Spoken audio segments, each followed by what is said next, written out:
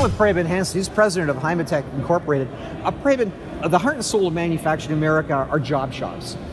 5, 10, 20 person operations, the same thing.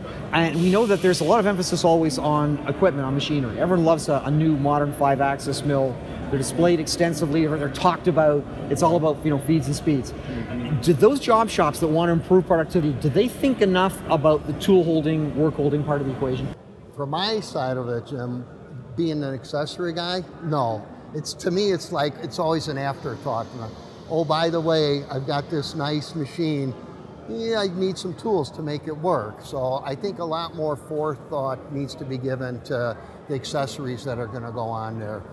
Earlier on in the process, when they start looking at machines, they should start thinking about what's going on, what they can use, what it's going to cost, bring it into the whole equation. How early should they think of that? Should they think about here's my part now? Do I work my way back from the from the cutting tool? Do I work my way down from the machine? ultimately, I think if they have a part they're going to produce, they should start looking at it right from the beginning. What's it going to take to make that part? Yeah, it's you can find a good machine and it's easy to do, but the rest of the equation is important too. So they need to think about it right in the beginning. How should they think about cycle time? Because cycle time, and one way to think of, of course, is from, from the start of the cut to the end of the cut. But actual cycle time really is the start of making one part, the start of making the next part. Right. right. So, so is, is tooling how much of a factor is that becoming in, in decreasing that cycle time? Well, I would say it's bigger and bigger. Cycle time is so critical. We're looking at world competition now for everything. So they have to figure their chip to chip time, what it's going to cost, how long it's going to take to change cutting tools, change live tools or angle heads before they're back making chips again. So it's really critical to go chip to chip or part to part time. Yeah, and the on the tooling side that, that you're involved in, is are you seeing more work retrofitting existing equipment, or are you outfitting brand new machines from, from the get go? Ours is a little bit of both, but this majority new machines these days. There's a lot of equipment being purchased, and for high end, sophisticated work, we do that well in this country. So um, you know, and that's where we fill. That's our niche is uh, is the high end equipment, and that's our core business. Mm-hmm. Uh, we've identified a sort of sweet spot for those shops. They're about a quarter of a million dollars or so for, which is about the entry level price that you can get full five axes now right. at this point.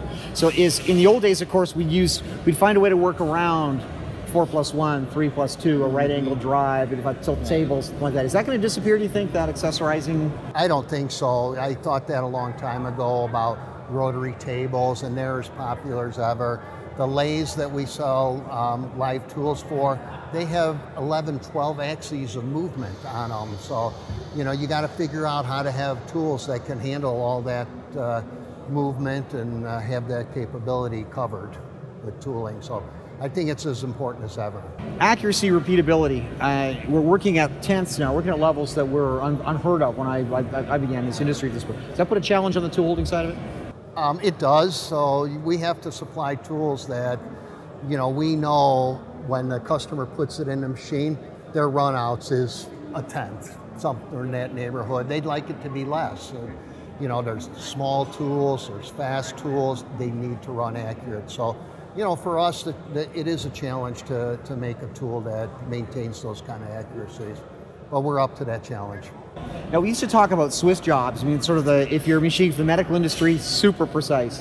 Uh, aerospace, same thing. Automotive, maybe less so. But the trend I'm seeing is that all of them really want tight tolerances. You know, they want extreme levels of repeatability at this point. Do you see a difference, automotive, aerospace? Uh, no, I think you're right about that. In, in addition to the tolerances they want to hold, they're looking for productivity um, and performance of the cutting tools and the better they're held, the more accurately they run, the longer they last. So, you know, some of it is from a, a cost standpoint, even it's really critical that things run accurately.